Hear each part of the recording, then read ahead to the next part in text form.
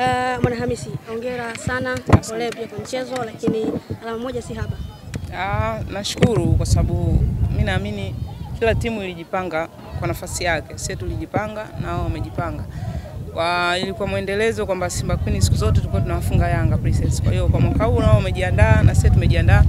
Naamini bado nafasi ipo tena kubwa ndefu sana. Unaonekana kulalamika sana na kuongea sana vijana wenzio, lakini mambo yakazidi kwa magumu. Pengine nyinyi kama wachezaji mnafikiri wapi mlikosea kiufundi zaidi? Ah, kwa upande wa wachezaji wetu tumejiandaa kwa upande wetu, lakini bado narudi pale pale kwenye soka wanawake, bora mchezeshwe na wanaume. Mara mia inajulikana ni marefali wanaume, lakini kumbe wa mnachezeshwa na wanawake, lakini bado inakuwa nini? Kama mtu kapangwa kufungwa afungwe, au kama mtu kapangwa kushindwa ashindwe, lakini sio kama inakuwa refa mmoja inakuwa ndo vile vile, huyu tumekutana naye Kigoma wapi Ruvuma, inakuwa ndo vile vile.